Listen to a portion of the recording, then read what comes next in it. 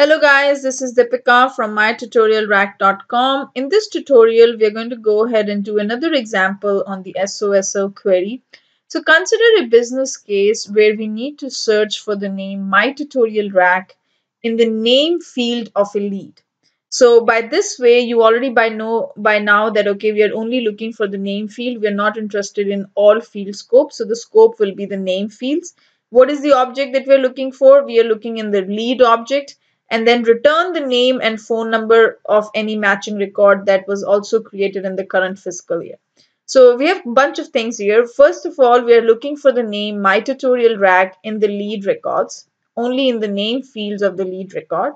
And we are expecting the query to result the name and the phone number of all the matching records. And there's another filter that we are using is the current fiscal year, which would also created in the current fiscal quarter. So all the records which were created in the current physical quarter and the name is my tutorial rack, those records will be returned here. Okay, and what fields of the record? Only the name field and the phone number field. So the first thing that we need to do is we're going to go to the lead records and enter some leads with the name my tutorial rack so we can test it. So you're going to go ahead and uh, add a couple of records here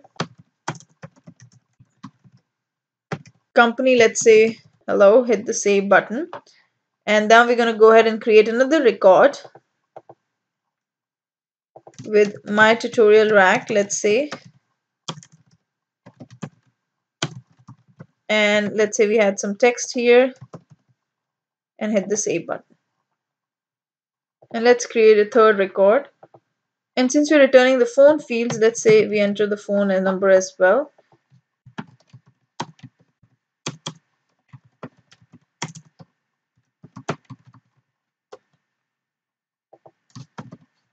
So it has my tutorial rack, but it has HI at the in the front. So hi my tutorial rack. So then company is hit the save button. So now what we have done is we have created three records which have my tutorial rack in them. But there's only one record which exactly matches my tutorial rack. Then there's another record which has my tutorial rack and the number one, two at the end. And then we are also displaying the phone number fields and the name fields. So these are the records that we have. Now what we're going to do is we're going to go ahead and write our SOSL query. And what this query will do, this query will search for this particular name in the name field of a lead and it will return the name and the phone number of the matching records. The records were created in the current fiscal year. Since we have already, just now we created it, so it's a part of the current fiscal quarter.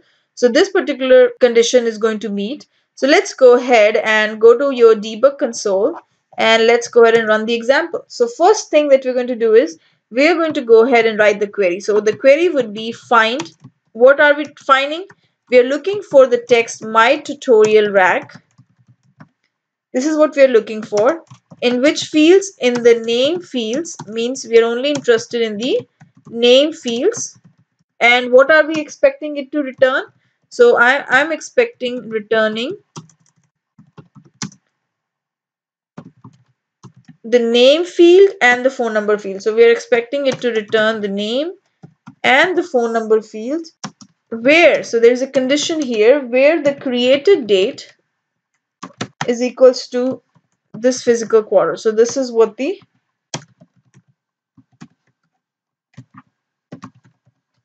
this is what the requirement is. So we are only looking for the records which are created this particular quarter and the name is equals to my tutorial rack. So this is what we are looking for.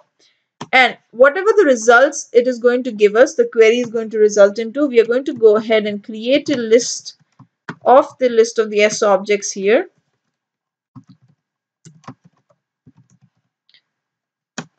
And the name of the list is let's say records.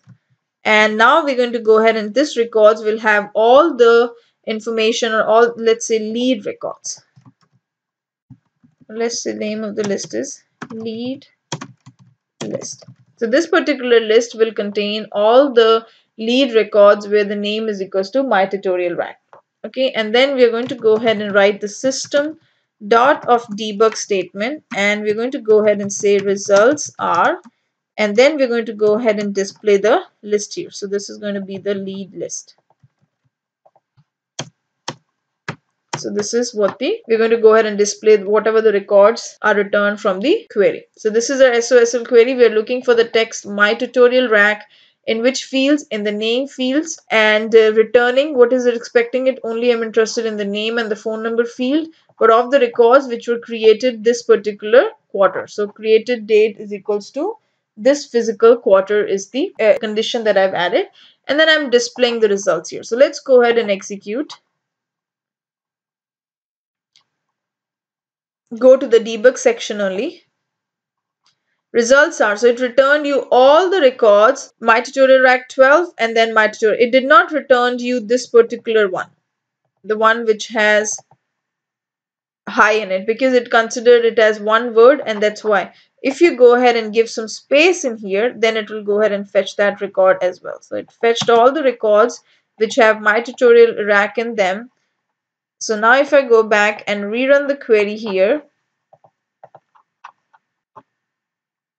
this time it is going to return you all the three records yes hi my tutorial rack the phone number field then this record and this record so it returned you three records which have my tutorial rack in them. So this is how the SOSL query works. When you can search in different objects, they does not need to be related to each other. See, account and customer object that we have where we, searched for the text ABC were not related to each other. They were totally independent of each other, but we were looking for the particular string in those two objects. So SOSL query is useful when you're looking for a particular string in multiple objects and uh, you, even those two objects are not related to each other, that's fine. You can still use SOSL. So this is about the SOSL query. Now in the next tutorial, we are going to go ahead and take a good look at the SOQL overview means the Salesforce object query language. We're going to go ahead and deep dive into those query and we're going to go ahead and take a look at multiple examples related to that. So I will see you in the next tutorial. Thank you so much.